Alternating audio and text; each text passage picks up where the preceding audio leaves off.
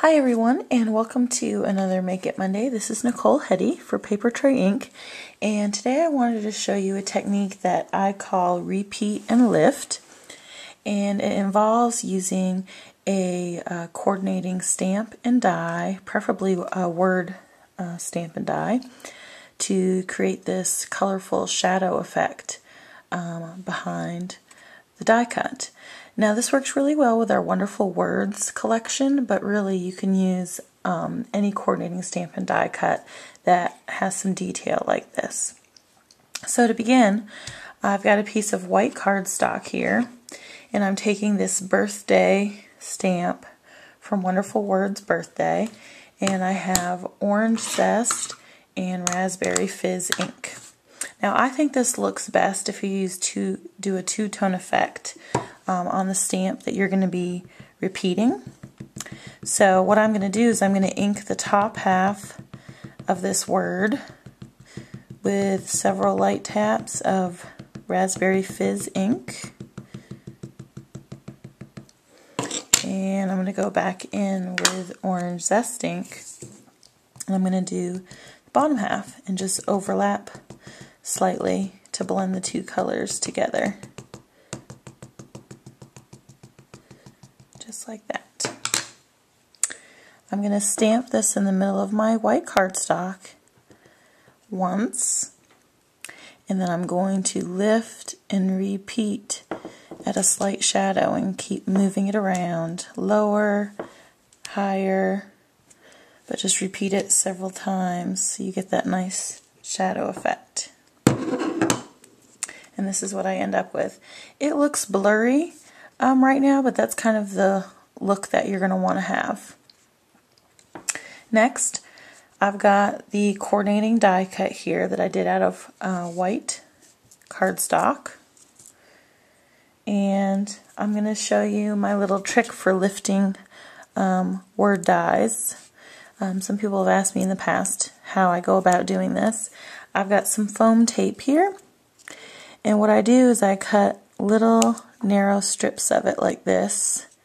Usually for a word like this I cut three little narrow strips.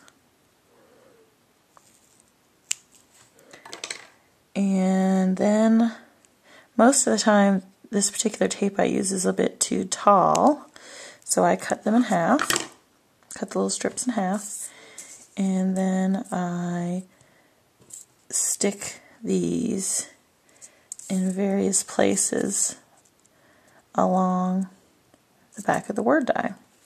Now you don't have to do every single letter. If you just do a few areas, you'll be able to get plenty of lift without having to go to the trouble to doing the whole thing. So I've got my last little two pieces here. them on like this. So you can see here, there's just a piece every few letters. I'm going to go ahead and take the backings off of all these pieces of tape if the backings haven't already fallen off.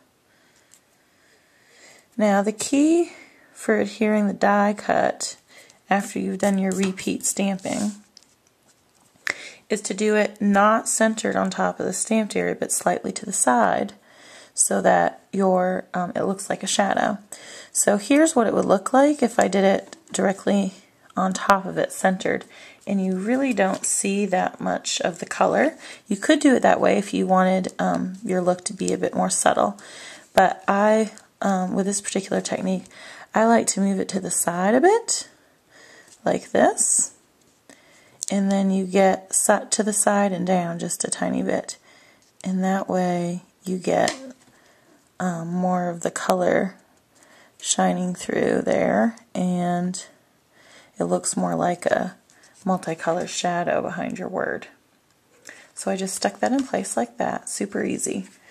I've got the word happy, also from Wonderful Words Birthday, and I'm inking that up with orange zest.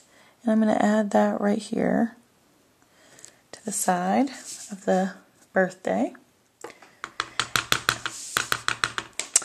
To um, add the secondary sentiment to the card here, I've got a half inch strip of orange zest cardstock and I'm adding this Dare to be Fabulous sentiment from Big and Bold Wishes. And I'm just going to go ahead and notch the end of this. I wanted to do, do this by hand instead of using one of the banner dies because I wanted to be make sure I had plenty of um, length here um, so I can fit this to my project the way I would like. I'll show you what I'm talking about in just a minute here. So I'm going to go ahead and adhere this piece to a Raspberry Fizz card base. Just center it right on there. And for this, I'm going to go ahead and put some adhesive on the back of this. And I was going to just show you a little design tip here. Um, this is a fairly short phrase, but for design purposes, if you notice, if you move this further, the banner further over like this, you have a lot of empty space here on the banner, and it kind of help makes everything look off balance. When you're doing this, what you're going to want to do is make sure that at least a couple of your letters cross over onto the Raspberry Fizz portion because it helps to just balance your project a little bit better and help the eye to just continue to flow around the card cover and not just be stuck in the middle like this. So what I like to do is um, actually stop halfway in the middle of the second to last letter. So if you notice, I'm going to plop this down here and the U falls with its center right on the edge of this white cardstock and it just helps, um, like I said, to create some uh, better balance. So I've adhered that in place and I'm going to flip it over and I'm going to trim this off from the back. And there is my completed project.